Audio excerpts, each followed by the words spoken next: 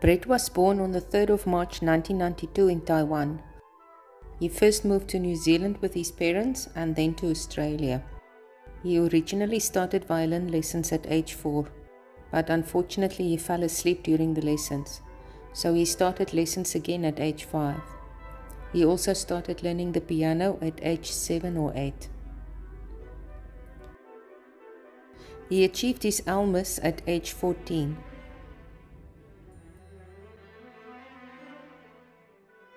He performed in many orchestras during his career.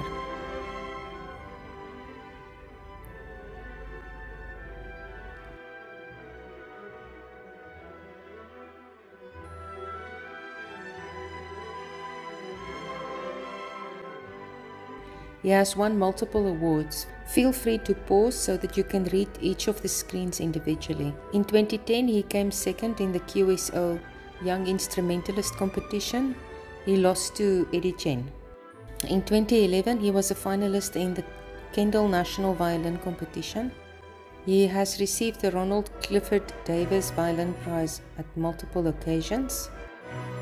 In 2011, he was the winner of the Matilda Jane Aplin Prize. In 2011, he was recipient of the Vada Jeffries Prize.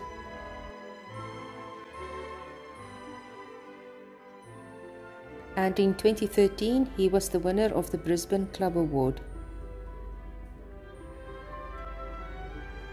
He loves reading manga, sushi, and swimming.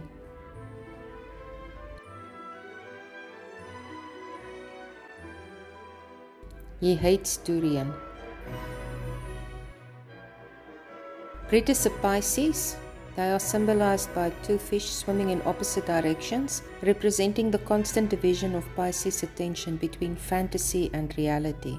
Some of the character traits of a Pisces they are empathetic, creative, romantic, and pleasure seeking. In the Chinese zodiac, Brett was born in the year of the monkey. 1992 was the year of the water monkey.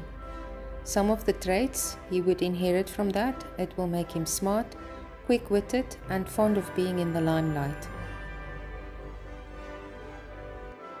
Now you know. Please subscribe if you haven't yet, and go practice.